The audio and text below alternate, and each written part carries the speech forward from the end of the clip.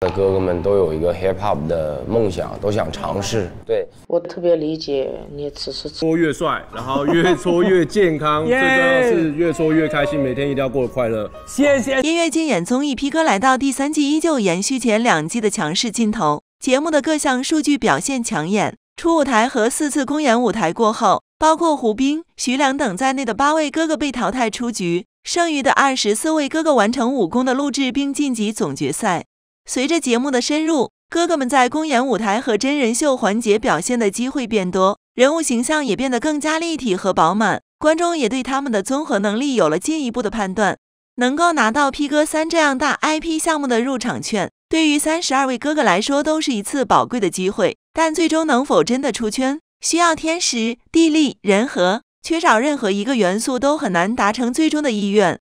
三十二位哥哥虽然参加了同一档热门综艺。但是随着 P 哥三临近尾声，节目对于各自的加成并不相同。有的哥哥名利双收，此次的披荆斩棘之旅收获满满；有的哥哥则成了过客匆匆，全程当绿叶无效参赛；有的哥哥表现不尽如人意，非但没能圈粉，反而败坏了路人缘。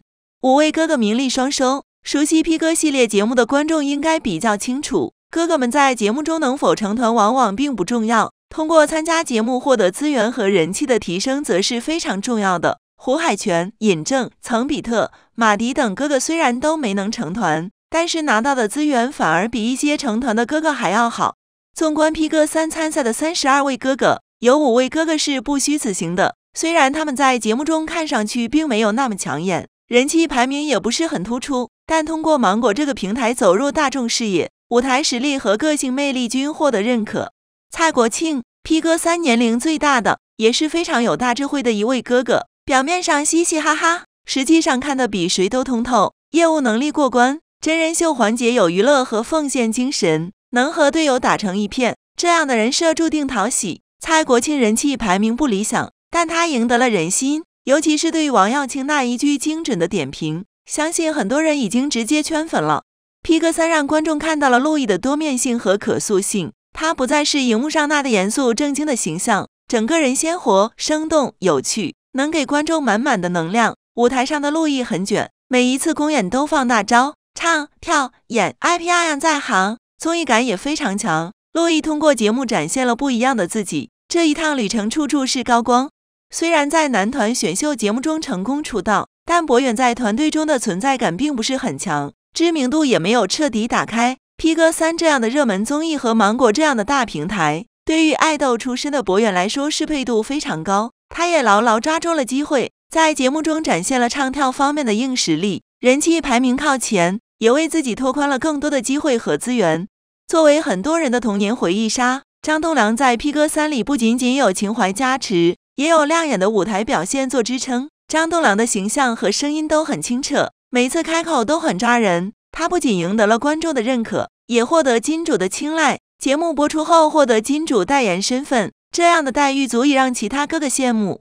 被经纪公司雪藏多年，李玖哲错过《我是歌手》等众多爆红的机会，但 P 哥三的机会他抓住了。他的 vocal 实力和综艺感在节目中发挥的淋漓尽致，他身上所折射出的反差感独具吸引力。李玖哲本不是芒果力捧的对象，但凭硬实力逆袭成黑马。人气排名大幅度提升，演艺事业也迎来新契机。除了上述五位哥哥外，还有很多哥哥也吃到了节目的红利。胡兵重新回归大众视野，各项资源明显好了起来。徐良虽然早早被淘汰，但依旧通过节目刷足了存在感。魏巡、罗杰夫、马小龙等哥哥也展现了自己的才华，同样都是节目的受益者。零七一三男团褒贬不一，P 哥三嘉宾名单公布之后，陈楚生。王励新、俞灏明、张远组成的零七一三男团就成了焦点人物，他们也不负众望，出舞台就大杀四方，展现了全民票选出来的偶像的硬实力。但随着节目的推进，围绕零七一三男团的剧本变了味道。张远在组队选人环节两次拒绝陈楚生，俞灏明也选择单飞，陈楚生部落的计划彻底被打乱，于是四公出现了陈楚生与王励新争吵的一幕。此前一直被大家津津乐道的团魂和兄弟情也成了争议的焦点。P 哥三四公播完，零七一三男团的人设也有了反转，他们在节目中的走向不同，观众的评价也褒贬不一。队长陈楚生一路稳稳发挥，不仅业务能力独树一帜，个性魅力也同样被认可。作为领导的他，情商高，有责任心，有判断力，做事情有自己的原则。四公组队环节的一波操作更是收割好评。陈楚生这一次参赛可谓名利双收，节目中拿下多个中差资源，人气也不断飙升。节目之外，演唱会如火如荼的举行。最关键的是，他让人看到了选秀冠军的实力。不管拿不拿最后的 C 位，陈楚生都是节目的赢家。好兄弟王立新全程选择跟随老大哥陈楚生，四公舞台那一句“陈楚生，我要帮你拿下”，这一次更是催泪弹。双向奔赴的友情让人动容，和陈楚生一路同行，王立新的光芒非但没有被遮挡，反而不断发挥特长。武功舞台迎来绽放，输赢只是一时的，兄弟情却可以长久。这一点在王立新身上体现的尤为明显。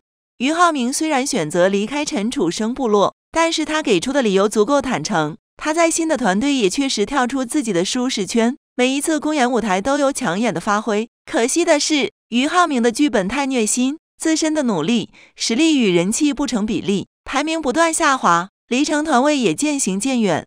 张远两次拒绝陈楚生，守着王耀庆这棵大树好乘凉，公演舞台成为团队核心人物，人气排名也大幅度提升。喜爱度甚至压了陈楚生一头，但表面上风光无限的张远，口碑全面崩盘。他拒绝的理由、迷幻的操作等，彻底惹怒了观众，导致零七一三男团的粉丝开撕，兄弟情变得不那么纯粹了。赢了比赛，但失了民心。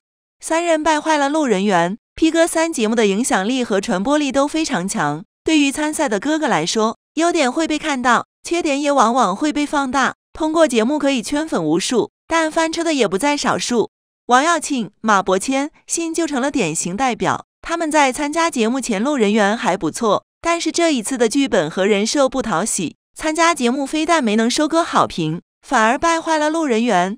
王耀庆的综艺感确实很强，但有时候聪明反被聪明误，组队结盟的过程表演痕迹过重，最后人设也立不住了。演员出身的王耀庆，唱跳实力有待提升。但无论公演舞台表现如何，成绩都一路狂飙，人气排名也高到离谱，个人实力与排名严重不合符，观众自然产生了逆反心理。作为金主的代言人之一，马伯骞在《P 哥三》中的剧本设定直接惹怒了观众，人气排名难服众，舞台多到离谱，没有高光表现依旧拿 MVP 强捧的结果就是马伯骞被贴上皇族的标签，而当他的风评不断下降时，马伯骞也被抛弃了。节目中存在感越来越低。